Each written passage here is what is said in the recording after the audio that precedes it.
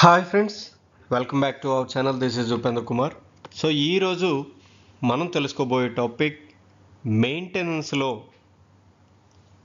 Important అయిన two terms గురించి మనం తెలుసుకుందాం.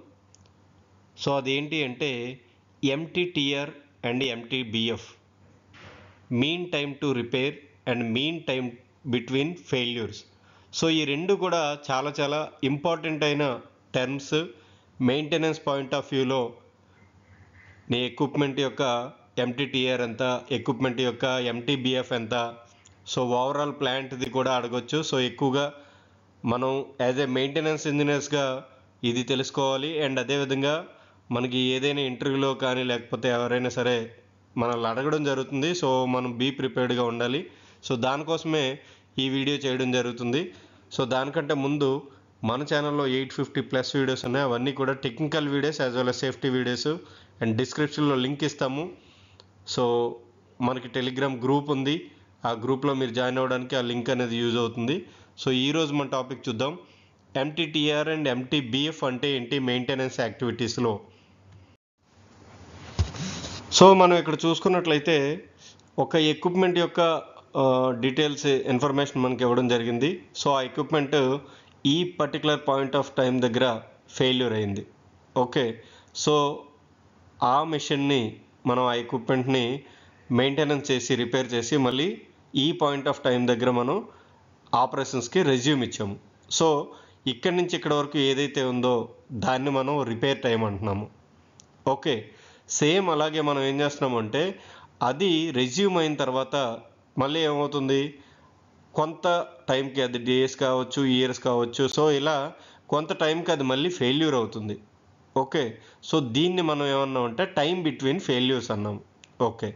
సో ఇప్పుడు మరి దీనికి అండ్ ఎంటీటీఆర్కి ఎంటీబీఎఫ్కి ఏంటి సంబంధం అంటే ఎంటీటీఆర్ అంటే మీన్ టైం టు రిపేర్. అంటే ఒక ఫెయిల్యూర్ మనం అయిన తర్వాత ఆ ఎక్విప్మెంట్కి రెజ్యూమ్ అవడానికి ఎంత టైం పడుతుంది?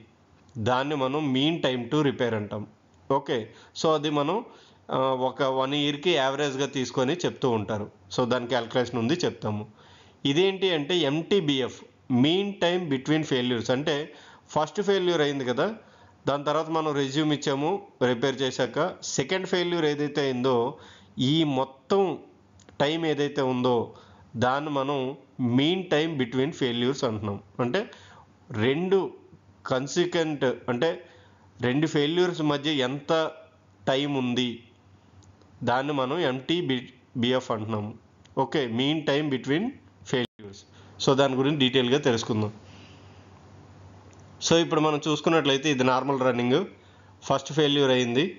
దాన్ని మనం రిపేర్ చేసాము so end of the repair మనం ఈ టైం అంతా కూడా అంటే రిపేర్కి ఎంతైతే టైం అయిందో అదంతా కూడా MT TR mean time to repair ఇక్కడ ఏంటి అంటే డయాగ్నోస్ అంటే మనం ఫస్ట్ అర్థం చేసుకుంటాం ఫెయిల్యూర్ యొక్క అర్థం చేసుకొని ఎందుకైంది ఏంటి అనేది. దానికి తగ్గట్టు రెమెడీ యాక్షన్ రిపేర్ స్టార్ట్ చేసాము సో ఫైనల్గా రిపేర్ అయిపోయింది. దీని మొత్తానికి అయిన టైంని మనం ఎంటీటీఆర్ అంటున్నాం. Mean time to repair so ఇప్పుడు దాని తర్వాత నార్మల్ రన్నింగ్ అయింది. తర్వాత మళ్ళీ సెకండ్ ఫెయిల్యూర్ వచ్చింది. సో ఫస్ట్ ఫెయిల్యూర్కి మళ్ళీ సెకండ్ ఫెయిల్యూర్కి మధ్యనున్న ఈ టైంని మనం ఎంటీబీఎఫ్ అంటున్నాం. Mean time between failure okay so ఇది మనం ఇక్కడ దాని యొక్క డెఫినేషన్ చూసుకుంటే MTTR mean time to repair is the average time it takes to repair a system so MTTR అనేది యావరేజ్ టైం నేను చెప్పాను కదా వన్ ఇయర్లో మనం చూసుకున్నట్లయితే ఎన్ని ఫెయిల్యూర్లు అయ్యాయి సో అది ఎంత టైం తీసుకుంది. Okay usually technical or mechanical ఏదైనా సరే. సో ఇదేంటి? దీని యొక్క డెఫినేషన్ ఏంటి? The average time it takes to repair a system or equipment it includes both repair time and the testing time so ఇది నార్మల్గా అంటే మనం ఏదైతే రన్నింగ్ కండిషన్లో ఫెయిల్ అయిందో మళ్ళీ రన్నింగ్ కండిషన్కి ఎక్కడైతే మనం ఇస్తున్నామో ఆ టైం మొత్తం అంటే ఇంక్లూడింగ్ దాన్ని టెస్టింగ్ చేయడం కానీ లేకపోతే రిపేర్ చేయడం కానీ అన్ని టైము కలుపుకొనే ఈ ఎంటీటీఆర్ అవుతుంది. The clock does not stop on this metric until the system is fully function again అంటే మనం ఏదైతే రిపేర్ చేసామో అది మళ్ళీ తిరిగి కరెక్ట్గా పనిచేసే వరకు కూడా ఈ ఎంటీటీఆర్ మనకి ఆ టైం అనేది కౌంట్ అవుతుంది. ఓకే జనరల్గా ఏ ఎక్విప్మెంట్కి అయినా సరే ఎంటీటీఆర్ అనేది లోగా ఉండాలి. This value should be low always మనకు ఒక పంప్ అయితే కానీ లేకపోతే ఏ ఎక్విప్మెంట్ అయినా సరే దాని యొక్క ఎంటీటీఆర్ వాల్యూ అనేది తక్కువ ఉండాలి. అప్పుడే ఆ పంపు బాగా వర్క్ చేస్తున్నట్టు మనం మెయింటెనెన్స్ బాగా చేస్తున్నట్టు.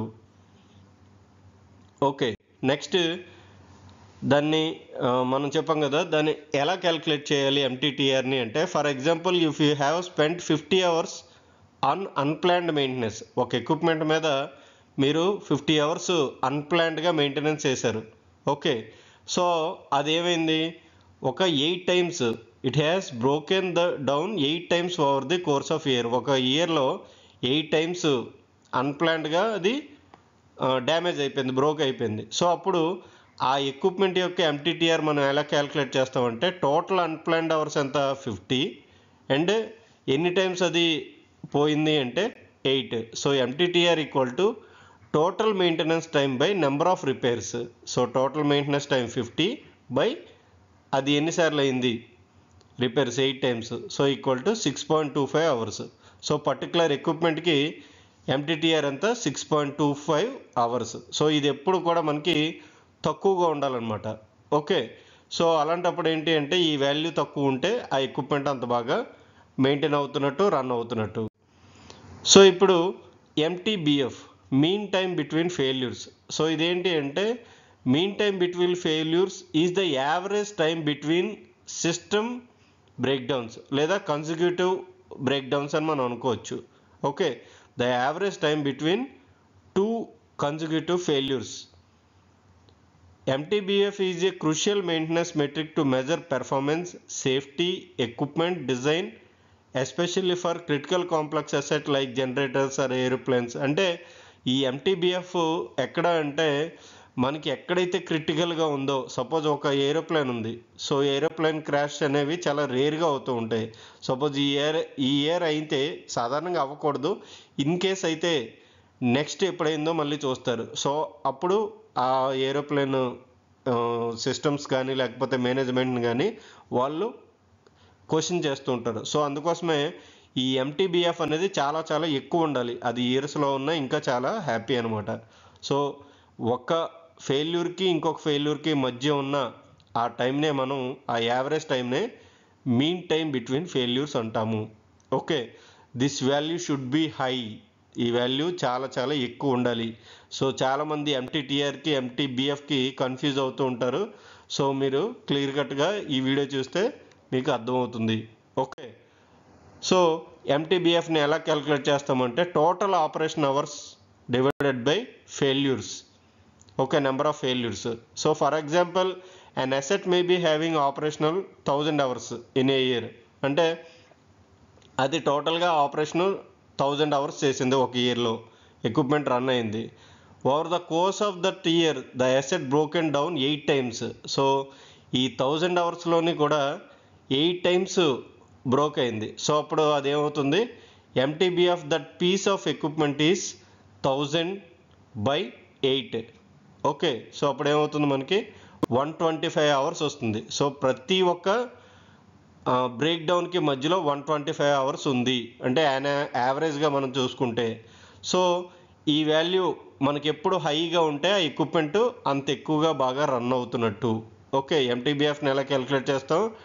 Total number of operation of hours of equipment by number of failures of particular equipment so అప్పుడు మనకి ఎంటీబీఎఫ్ నెంబర్ అనేది వస్తుంది. ఓకే సో ఇది బేసిక్గా MTTR mean time to repair and MTBF mean time between failures okay ఇది మనకి ఈ maintenance సిస్టంలో ఆర్సీఎంలో కానీ లేకపోతే మనకి నార్మల్ మెయింటెనెన్స్లో కానీ చాలా వరకు తెలిసి ఉండాల్సిన టాపిక్స్ సో మీకు అర్థమైందని అనుకుంటున్నాను. ఏమైనా డౌట్స్ ఉంటే అడగండి. ఎయిట్ ఫిఫ్టీ ప్లస్ వీడియోస్ ఉన్నాయి అవన్నీ కూడా technical videos as well as safety videos so like చేయండి చూసిన ప్రతి ఒక్కరు కూడా కామెంట్ చేయండి తప్పకుండా మీ కామెంట్ మాకు ఫీడ్బ్యాక్ కింద యూజ్ అవుతుంది.